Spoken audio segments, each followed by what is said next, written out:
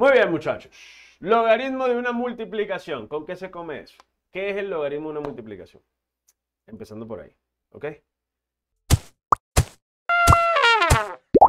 Epsilon Academy. Lo que aquí aprendes, no lo olvidas. Tú me podrías decir a mí que por definición formal del logaritmo, por definición formal del logaritmo, esta vuelta debería dar 5.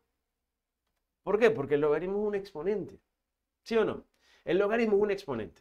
Y mira que si yo le pongo a esta base 2 el número 5, el resultado es 32.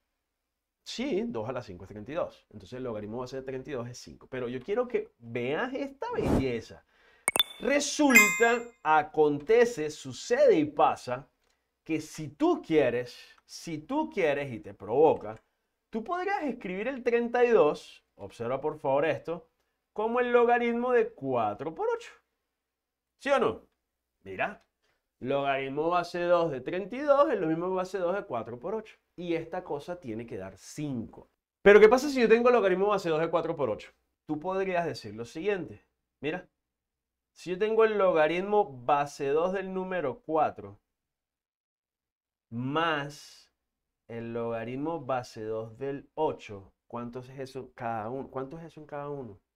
¿Cuánto es eso? Y tú dices, el exponente que yo le pongo al 2 para que me dé 4, el exponente de esto sería 2. Y el exponente que yo le pongo al 2 para que me dé 8, el exponente de esto sería 3. Y mira que si los dos resultados se están sumando, 2 más 3 termina siendo igual a 5. Entonces estamos teniendo que el logaritmo base 2 de 32, si yo quiero lo puedo representar así. Y mira que el logaritmo de una multiplicación, se puede decir que eso es la suma, es equivalente a la suma de los logaritmos porque cualquier valor que tú coloques allí lo vas a poder implementar. Y eso viene en el fondo de quién. Venga acá un momentico, vamos a echar para atrás. Vamos a echar para atrás. El 32 es 2 elevado a la 5.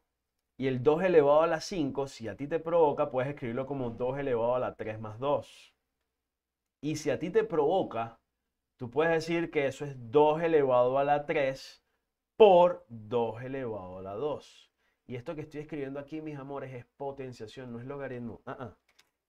¿Te acuerdas las propiedades de la potenciación? Si yo tengo dos bases iguales, oye, si yo tengo dos bases iguales que están multiplicándose acá, mira que estoy haciendo multiplicación de potencias. Escucha, estos son multiplicaciones de potencias. ¿Te acuerdas que lo que tiene aquí el logaritmo es que la potencia? Y lo que yo tengo aquí multiplicando es multiplicación de potencias. Voy otra vez, porque mira que 2 a la 3 es este 8 y este 2 a la 2 es este 4.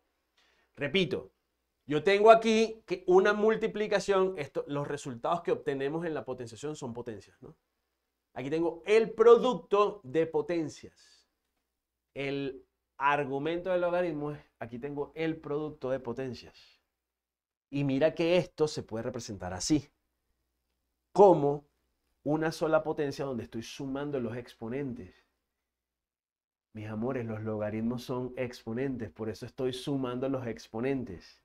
Por eso la fulana fórmula de la primera propiedad, una de las más importantes de los logaritmos, es la siguiente. Cuando yo tengo el logaritmo de una multiplicación, que es el logaritmo de una multiplicación de potencias, se puede separar como suma de exponentes. Míralos acá y está conectada una con la otra. De ahí es donde sale la, que, la, la fulana expresión que yo puse ahorita en stand-by. De ahí es donde sale esta expresión que está acá, que indiferentemente de los valores que tengas tú a la mano, vamos a poner esto aquí, indiferentemente de los valores que tengas tú a la mano, tú vas a poder decir, mira pana, yo tengo aquí una multiplicación, lo puedo separar como una suma. Ejemplo, tengo el logaritmo, dame poner esto en negro otra vez mejor. Tengo el logaritmo base 10 de x más 1 por x menos 2. Pues el logaritmo de una multiplicación lo puedes separar como la suma de logaritmos. Entonces sería el logaritmo base 10, si a ti te conviene, el logaritmo base 10 de x más 1 más el logaritmo base 10 de x menos 2. Y si lo llegas a tener así, te puedes venir para acá. Porque al final tienen la misma base y estoy sumando exponentes. Esto es un exponente, esto es otro exponente de esta misma base. Lo puedes unir y aquí tienes la base, ¿ok? Una sola base donde tienes una multiplicación de exponentes. Por eso la multiplicación de exponentes lo puedes separar como una suma de exponentes. Dependiendo de la conveniencia. ¿Qué es lo que no puedes hacer? Pilas aquí con esto. Nota. Atención, nota. No puedes hacer esto. No, que si yo tengo el logaritmo base A de X más Y, eso es lo mismo que el logaritmo de X por el logaritmo de Y. No. El logaritmo de la multiplicación es la que se puede separar como la suma de logaritmos porque aquí yo tengo una suma de exponentes. Aquí esto es otra cosa.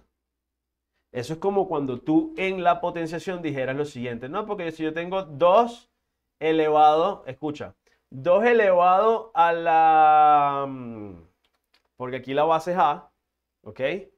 Y esto es la potencia completa. Esto no es esto que está aquí, el X más Y, acuérdate que no es el exponente, sino la potencia. Tú estás buscando el exponente que lleva este pana. Entonces tú no puedes agarrar y decir que esa potencia x más y, si aquí yo estoy sumando, que es igual aquí a la multiplicación, pilas porque es este orden en particular.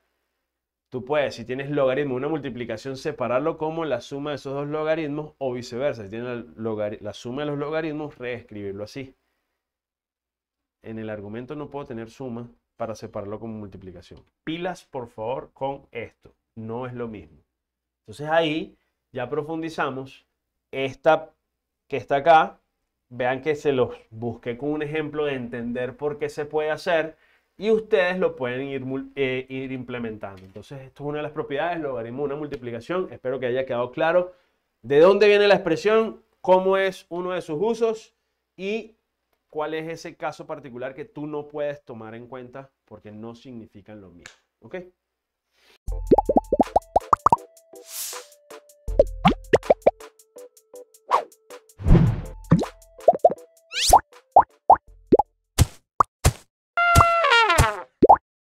Epsilon Academy. Lo que aquí aprendes, no lo olvidas. Muchas gracias por llegar hasta acá. Ya sabes que nuestra página es totalmente gratis para los usuarios de nuestro sistema o de YouTube y por eso te queremos invitar a apoyarnos de la siguiente forma. No te saltes las publicidades, si puedes darle clic mucho mejor porque de esa forma recibimos fondos. Interactúa con el contenido más allá de verlo, los comentarios, los likes y la suscripción nos ayuda mucho. Sé miembro de nuestro canal, solo ingresa a nuestro perfil, das clic a unirme a canal, seleccionas el beneficio que se ajuste a ti y listo. Invítanos a un café en nuestra página de donaciones de PayPal, donde tú decides el monto a donar y en lo que quieres que se invierta, que puede ser en la producción de contenido o en becas para nuestros alumnos. Puedes ingresar escaneando este código. Muchas gracias por tu apoyo. Seguiremos aportando nuestro grano de arena, nuestro epsilon a la sociedad con educación porque somos más que una clase.